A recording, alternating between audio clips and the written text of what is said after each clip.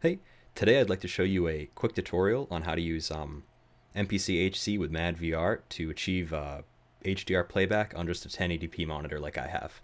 So first thing you want to go over is um, HDR. HDR is high dynamic range, which is like a, uh, a type of tone mapping for um, 4K content that's in use on, on newer stuff, not like what I got.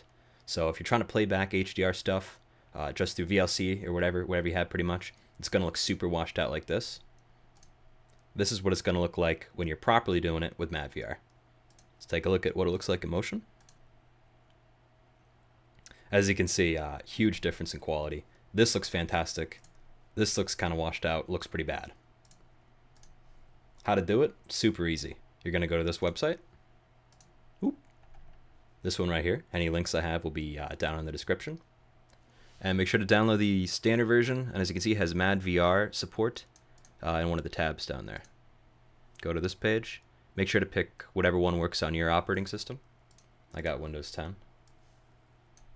I already have it installed, but I'll run through um, the install again for you. So uh, as you can see, I have it update, not install. Uh, skip this, you know, just leave all this default.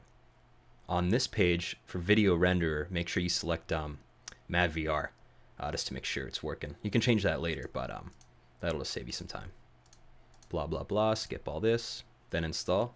I already got it. So once you're done, you're going to want to navigate to whatever file um, with HDR you're trying to play.